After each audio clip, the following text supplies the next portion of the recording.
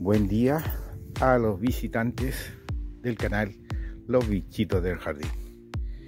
Acá estamos en pleno invierno, julio, mediados de julio. Y, y quería compartir con ustedes actividades de invierno. Hemos estado con lluvias con alta intensidad.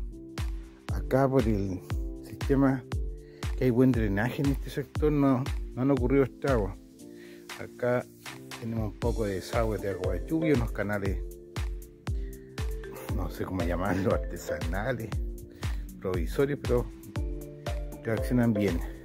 El pasto ha crecido mucho por la alta humedad, acá hay mucha sombra, siempre tengo problemas para que se desarrolle ahí. Y también tiene la helada de las mañanas o nocturnas que los quema.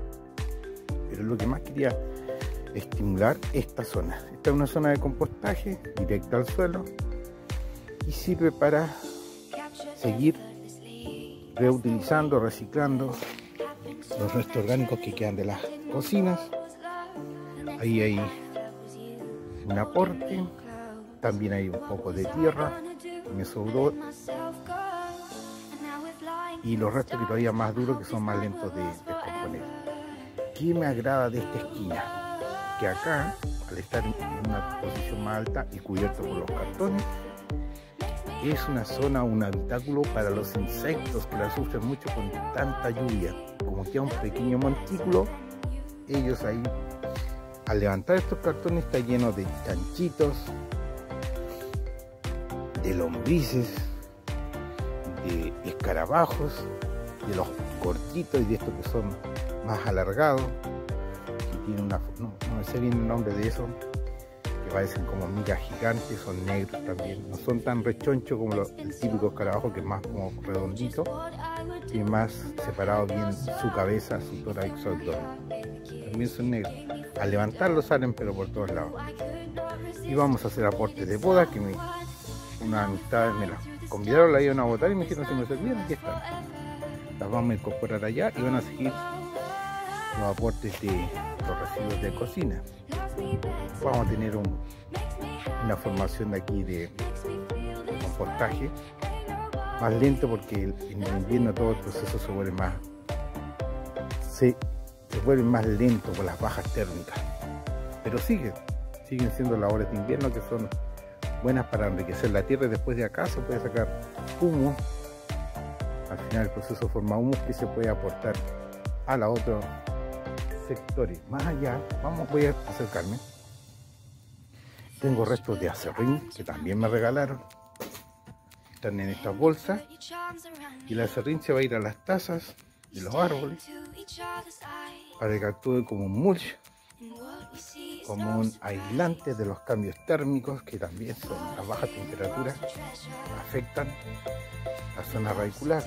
Hay que proteger las raíces en invierno porque la muerte de las raíces causa muerte de la planta.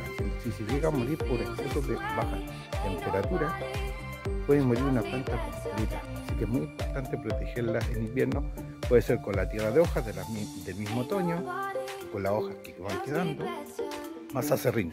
Y el acerrín no se entierra, se deja en superficie. Va a quedar un color parecido a este colocan en, la zona alta y alrededor de la taza de los árboles.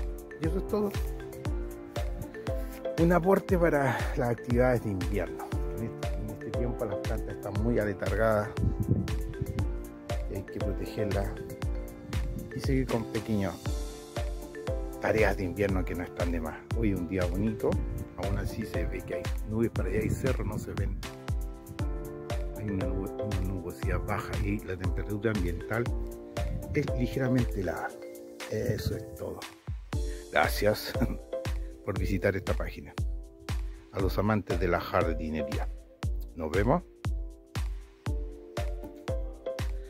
Bueno, y para el epílogo de cuidados de invierno, aquí ya he depositado serrín en las tazas, una una bolsa de acerrín de este tamaño me ha servido para tres arbolitos. ¿Qué cantidad? La cantidad, podríamos decir, media. ¿Qué se entiende por media? Un grosor de 1 a 2 centímetros de acerrín, no más. El exceso de acerrín provoca que se mantenga mucha humedad en las tazas. Y en este periodo ya el suelo está demasiado húmedo.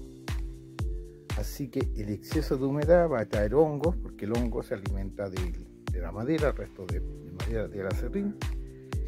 Y los hongos pueden penetrar la tierra y al final pueden dañar las raíces. Así que solamente lo mínimo de acerrín, de 1 a 2 centímetros de grosor, para que el acerrín se mantenga aireado, se ventile, pero cubra e impida que el las heladas penetren a las raíces y, el, las bajas térmicas terminen dañando esas raíces.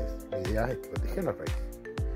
Esta estaba más húmeda que estaba más al interior de la, de la bolsa, esta estaba más en superficie, por eso se ve más clarita. Al final, con días un poco así temperados, van a terminar de este color. Como les decía, los va a proteger de los fríos y además estéticamente se ve muy grato a la vista. Un detalle, no retiro, como ven ustedes, pastos que han invadido, un poco las tazas por una causa muy simple, acá tiene más.